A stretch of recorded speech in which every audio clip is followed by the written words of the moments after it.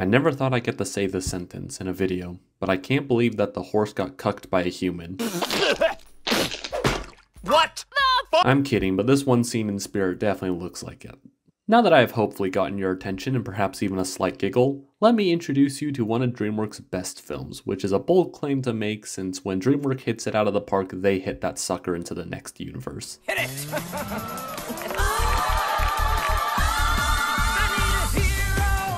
Spirit Stallion of the Cimarron was released in 2002 and was probably the most watched movie little baby Cameron watched. I liked it so much that my third birthday party was spirit themed. Thankfully, it's one of the few childhood films that actually still holds up, which is something I can't say for another DreamWorks movie that deserves to be burnt to a crisp.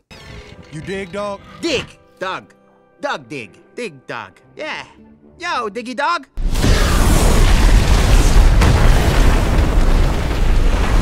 So, what did this film do in order to garner such high praise for me? Well, a lot. For starters, the animation in this is absolutely gorgeous. The backgrounds are all painted on and really capture the beauty and majesty of western United States with many shots being inspired by Glacier National Park as well as Yellowstone National Park. Which now gives me an excuse to use footage and photos I've taken from my most recent Yellowstone trip. The animation of the movement is incredibly fluid and satisfying to watch, from the horses running to the hair in their manes flowing in the wind, or with every little movement they make.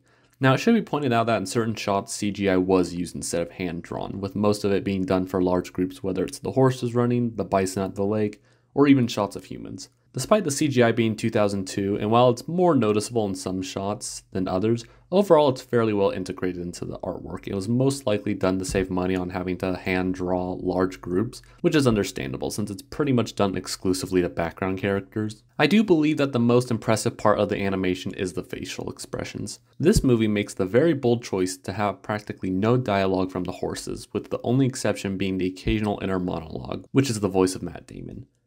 And so I grew from colt to stallion, as wild and reckless as thunder over the land.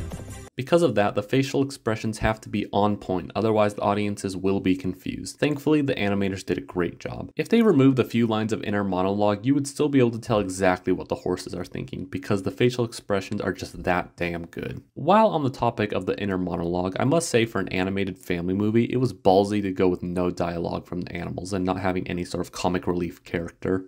The lack of dialogue is refreshing for an animated movie because it instead relies on visual storytelling. You know, that thing that movies and TV shows exist for. Insert joke about how so many films over exposit everything in their story instead of coming up with creative ways to convey the narrative to said audience. For example, this film takes place over a prolonged period of time, with the best way to see this is Spirit's hair length as it grows as he's in the Lakota tribe. The characters in this film are also pretty good. It helps that the expressive animation shows the viewers how much personality everyone has. First, we got Little Creek, and that's his name in the movie, so that's what I'm going to refer to him as, so please don't torch me, Twitter. Oh, yeah, Twitter can't, because Big Daddy Elon Bucks is torching the platform down, causing everyone to freak out. It's about damn time. Little Creek is the boy from the Lakota tribe that befriends Spirit, and the relationship between him and Spirit is probably the main heart of this film, with him eventually being able to ride Spirit as they both have to fight in order to win their freedom and to protect the ones they love. He also acts like a teenager, and by that I mean he's definitely goofy and likes to play around and has a connection to nature.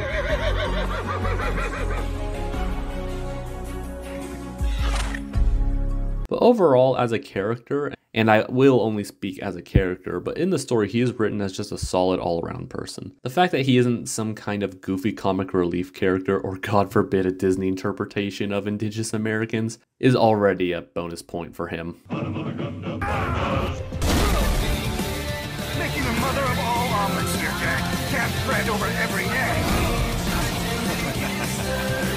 And at least from my own research, it does appear the film does treat the Lakota tribe with respect, with it being semi accurate. However, this is in reference to how the Lakota were in the 19th century, which is when this film takes place. I cannot and will not speak for the accuracy of modern day representation. If anyone is part of the Lakota tribe and has more information on the manor, comment below because I'm definitely interested to see how accurate this film is. Next, a significant character we have is Rain, the love interest, which I referred to in my opening joke. Out of all the significant characters, she's probably the most bland, but even then she still has some kind of personality, with her trolling Spirit as well as her being conflicted about leaving Little Creek in the life that she has known to join Spirit and his herd.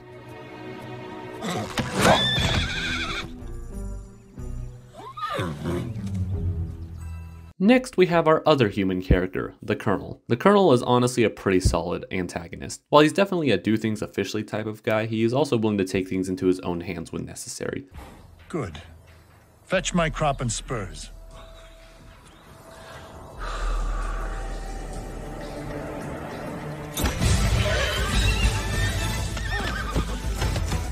His treatment of Little Creek is also very interesting.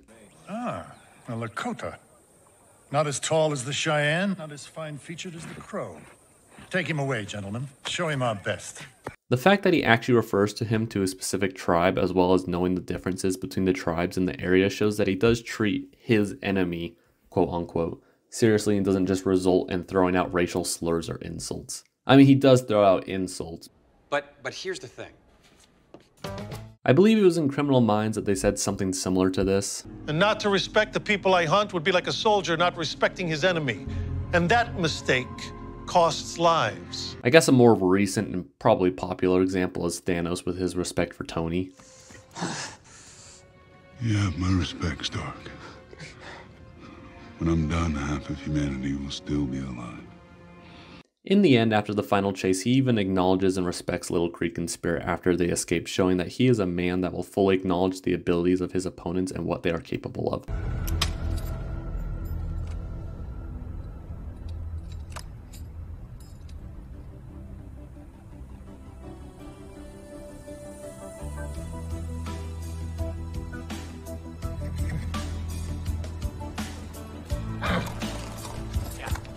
I always appreciate it when the protagonist and antagonist have this mutual respect for one another. I think it's more interesting than just the standard good guy versus bad guy, although there's nothing wrong with that. Now we move on to the main stallion of the film, Spirit.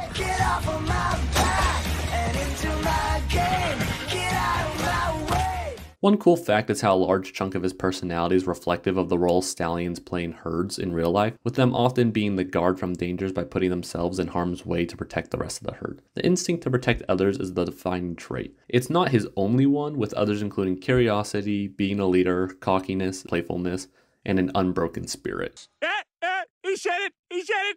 elaborate on his relationship between Little Creek and him, it's very interesting to see Spirit so distrusting of humans, which, you know, is a fair thing considering, well, that was the reason he was taken from his home in the first place. Little Creek even realizes that no matter how friendly Spirit will be, he will never ride him, and releases him. Now, due to circumstances and after being captured again, Little Creek saves him and is finally able to ride Spirit in a moment that feels earned and properly set up. And I'd be lying if I said I didn't get a little teary eyed when they said goodbye.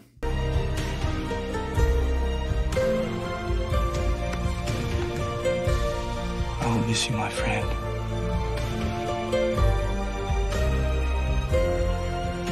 Are you crying? No. The musical score in this film is awesome. It gives the movie this grand scale that the Western landscape is known for, and whether it's a playful moment or a sad one, the music always is there to elevate it.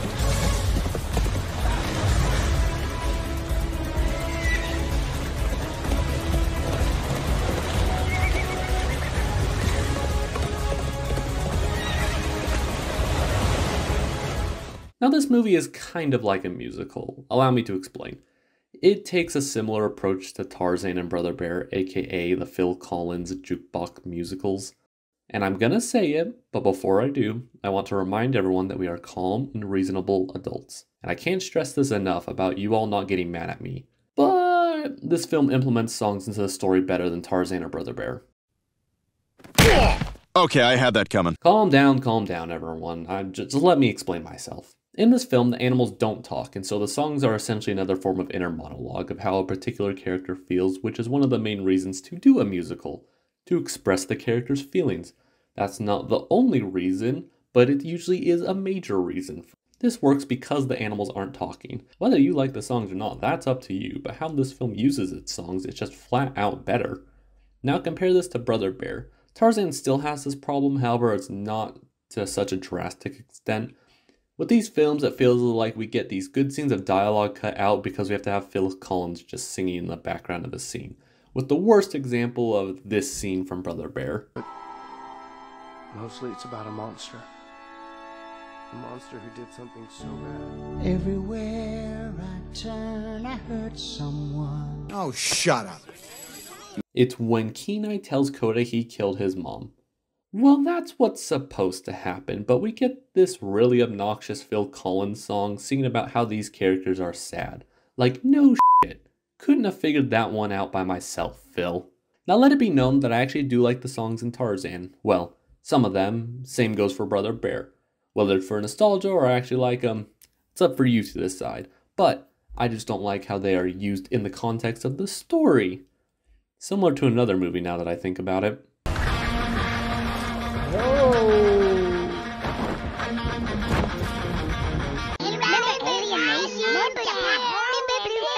To wrap this video up, let's discuss the critical response to this film to show you, dear viewer, just how incompetent critics are, in case you haven't paid attention to modern media in the last five years. Many critics said that this film, and I quote, Dave Kehr of the New York Times criticized the way in which the film portrayed Spirit and Little Creek as pure cliches, and suggested that the film could have benefited from a comic relief character. Shut the hell up. Because that's what we always need. We can't have a film that tries to take itself semi seriously or tries to have some actual compelling characters. No, we have to have stupid fart jokes and pop culture references, otherwise, those stupid kids won't like the movie. God forbid we actually give kids some credit and try to treat them with some kind of intelligence and respect. Heaven forbid we have a simple story because everything has to be overly convoluted and complicated to make everything seem really important. Well, guess what? You know what makes something impactful? Making it good, which is what this film is. It's a gem that truly deserves more attention, and I'm not talking about that stupid remake they did or that stupid Netflix show because f those. That's the end of this video. I hope you all had a great day. Spank all those buttons and stay safe out there. Bye bye!